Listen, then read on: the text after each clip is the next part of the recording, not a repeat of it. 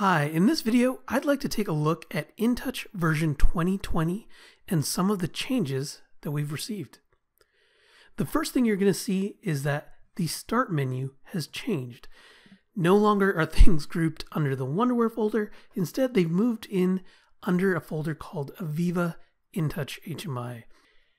But let's go ahead and start up InTouch Application Manager and see what's changed. So right now you can see what looks very similar to our application manager screens we've seen in past, but this is actually not the default view. When you first install 2020, we're actually going to see a different view that makes it a little easier for us to select which application we want. So I'm going to click on the list view and we're going to see some thumbnails of the different applications that we've created. We'll see three applications here. The first two are demo applications. You're probably familiar with the Reactor demo that's come pre-installed for a number of years. The second one in the list is an example application that uses some of the newer graphics. The third one is a new application that I've created, but you'll notice there's no picture associated with it. Whenever we create an application, we can choose which picture to associate with it, and I've not done that as yet. Now, one of the nice things that comes with 2020 is the ability for us to use what was previously called Archestra Graphics. So a slight name change, those are now called Industrial Graphics. But in the past, we'd have to use what were called modern applications to get access to those graphics. But Wonderware has made it easier for us. Our standalone applications have the option to use the graphics right off the bat. Now, once InTouch Window Maker starts up, the environment's going to look very familiar to what we've seen before, except that on the right hand side, we're going to see a new area for our industrial graphics. Remember, this is what used to be called Archestra graphics. So if I expand out this window a little bit, we'll see the graphics library and all the graphics that are in it. To use them, I'm going to create a new window and I can just drag and drop those new graphics onto my screen.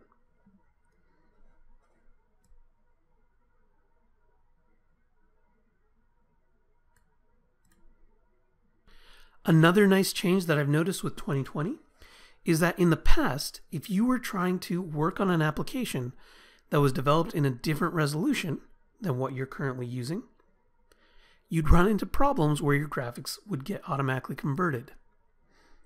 This is no longer the case. Here, you'll notice I'm trying to look at an application that is done in 1280 by 1024 resolution, not what I'm currently using. But when I open up the application, it's going to ask me, do you want to convert the graphics? I can click no on here, and it's going to still open up the application for me. The next change that I want to show you is the ability for us to change our classic windows to use our industrial graphics. In the past, with the 2014 R2 version, we could right click on any of our windows and there was an option to convert them. We still have that option here in this version, but to make it a little easier for you, off of the file menu, we have the option to convert all of the windows at once.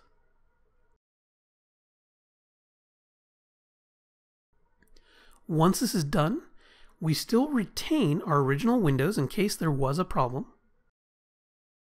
but we'll notice our new windows are included, but they have a slightly different icon. At the bottom right, we'll also see a properties panel. The reason is these are not what are called windows in InTouch, and instead, they're what are called frames. So what is the difference? A frame can show one large Archestra graphic, whereas a window can be made up of multiple small graphics. A frame is also able to be zoomed in on at runtime. This is especially useful if you're using a multi-touch monitor and you want to do a pinch and zoom. So why is converting our classic windows into industrial graphics or frames important? Well, we have an option now called InTouch Web. This is the ability for us to see our application in runtime through a web browser. but this feature only works when we're using industrial graphics. So instead of having to rebuild all of your windows from scratch, we can convert all of our windows automatically and still make use of the web client. So once they've been converted, I need to do a couple steps. The first is to set up the root directory and the home screen. And lastly, if I've not done it before, I do have to go to Runtime in Window Viewer at least once. Once that's done, I can click on the Web Client option, and we'll be able to see my InTouch screens here shown inside of a web browser. From the menu, I can navigate to the individual windows if I wanted to, or use the buttons that are built into my screen to navigate that way as well. You'll notice in the menu bar, it does have an R slash O, indicating that I'm in read-only mode.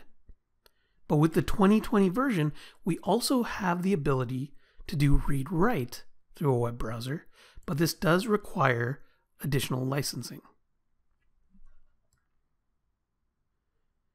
The last feature I want to show you is the ability for us to store our historical data not only to InTouch's LGH files, but also now to the Wonderware Historian.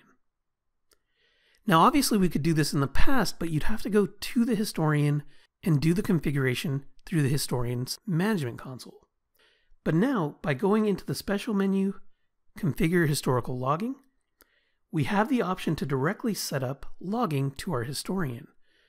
And all we have to do is enter in the name of the historian and a location on the hard drive where we can buffer data if the historian's not available, and InTouch will automatically send the data to our historian for us without us having to do any additional configuration. And that store forward location allows us to buffer data locally on the computer so that if we lose connection to the historian, all the data still gets saved locally. Once the connection is reestablished, InTouch will forward that data to the historian so that we don't lose data in the event of a network loss. Now, this doesn't cover every feature available with the 2020 version, but I hope it gives you a taste of what's possible. My name is Dylan Pereira, and if you have any questions on this, please get in touch with us here at InSource Solutions. We would love to hear from you.